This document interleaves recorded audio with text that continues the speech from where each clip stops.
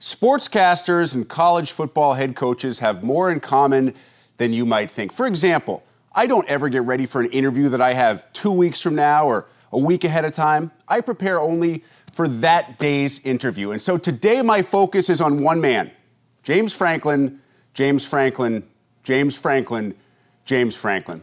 Coach, welcome to the show. I think you know where I'm going there. Are you still baffled that years into that Twitter message that you continue to send out, that there remains confusion about why you are trying to explain that each successive game is the most important your team will play?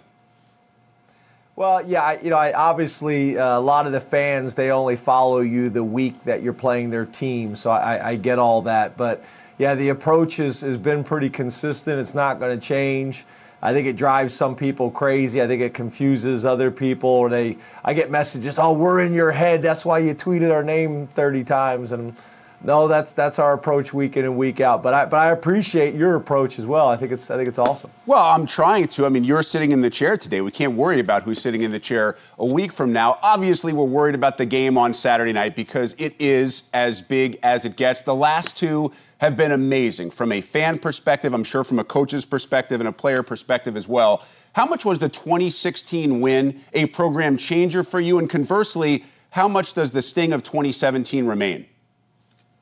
Well, I think you could even go back further than that. I mean, three out of the last four times we've played, the game has been decided by seven points or less. You know, my first year, the year they won the national championship, we took them to do- double overtime. So uh, it's been a great game. There's no doubt about it. I think they're, you know, they are supremely talented. Watching them on tape, uh, we got a tremendous challenge. Uh, you know, I think you know we have some talent as well, and we got a home field advantage and there's no reason to think this isn't going to be a great game as well. But we're going to have to play well. You know, there's no doubt about it. But uh, you know, we're excited. It's a special environment. Uh, this is uh, a week that I typically don't have to get people to to, fo- to focus on. They're already focused on it. But I do think the approach is good because it helps us kind of tune out some of the external noise, uh, and there's a lot of it. Also, a lot of offense. Top two scoring offenses in the country. When you look at your team, what has impressed you the most in regard to what you've done on the offensive side of the ball?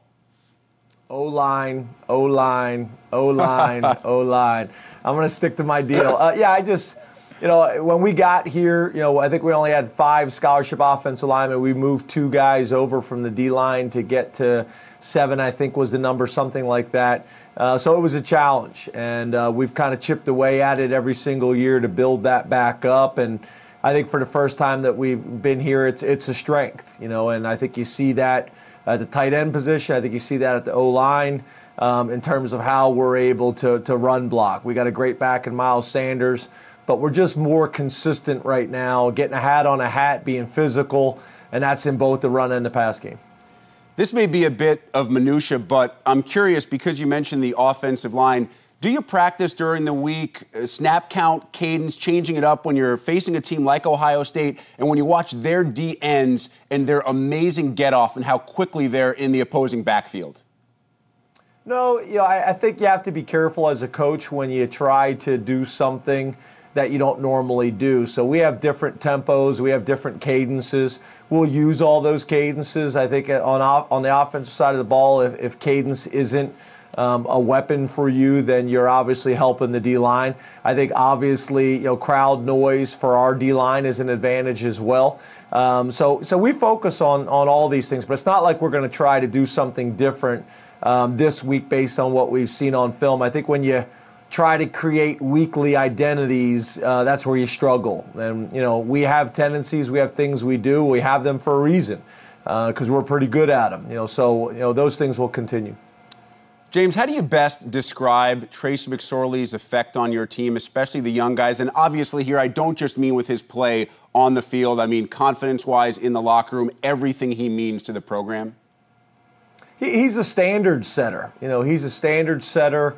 Uh, he's a culture driver. He's the guy that, um, when I hear him talking to the team, um, he's he's presenting facts and information in a way that I think um, you know, builds on what we talk about every single day as coaches. So, you know, he creates tremendous confidence in our offense that every time we have the ball, we got a chance to score. Um, he he builds confidence in our defense that our defense knows if they can slow them down or hold them, that our offense has a chance to score one more point than we give up. Uh, and then on special teams, they know if, if you know we give our offense good field position, then you know, there's a strong percentage that Trace will get in the end zone. You know, he's uh, he's great in terms of our quarterback room. Uh, we got tremendous relationships in our quarterback room and are starting to really create and develop depth there. And he's been really kind of the uh, you know the foundation for that. So in so many ways, how he treats people downtown, the type of student he is, he already graduated, just so many things that, that he's got going for him. You know, I, I love him a bit. I'm a big you know Trace McSorley fan as well as his as well as his parents. I got home last night and uh, his sister was at our house babysitting our kids. So you know, I'm a, I'm a huge McSorley family uh, fan. I'm curious as to what that babysitting rate is, but I'm going to keep that private for now. Uh, Coach, yeah, it's the it's the standard rate. All Don't right, just there. making You're sure. Not getting me in any trouble. Just making sure. Uh, Coach, you've coached with some great quarterbacks. You've coached against some great quarterbacks. You played the position. You know the position as well as anybody. What's the most impressive aspect of Ohio State quarterback Dwayne Haskins?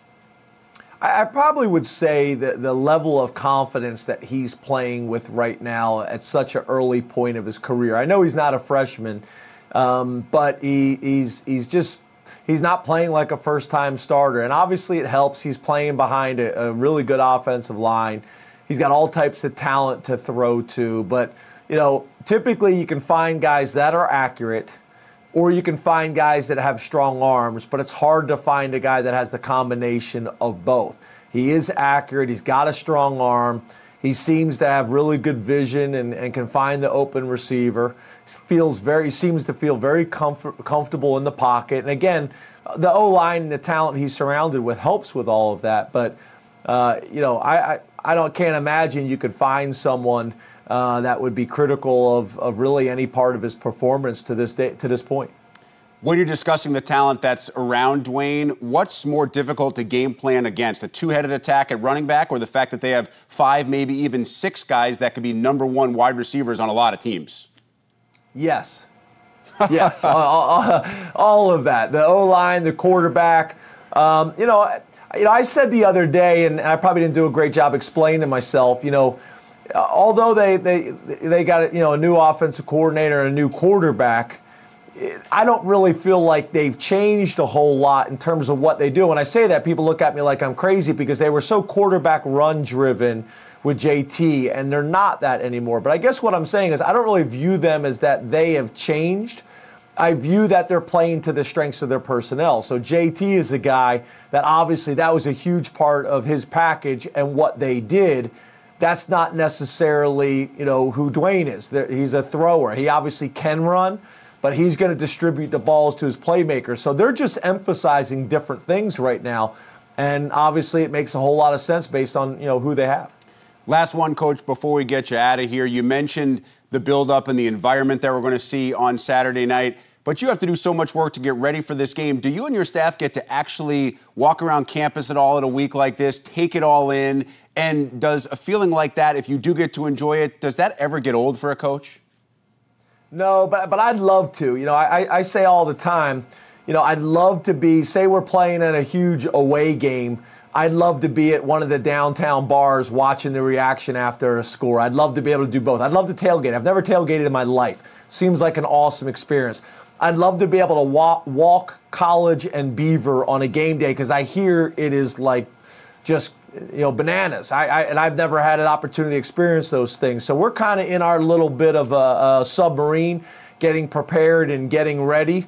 Um, but you know there is a buzz and there's a you know a buzz around campus and downtown and you know in the community. There's no doubt about it. But as coaches, we don't get to experience a whole lot of that.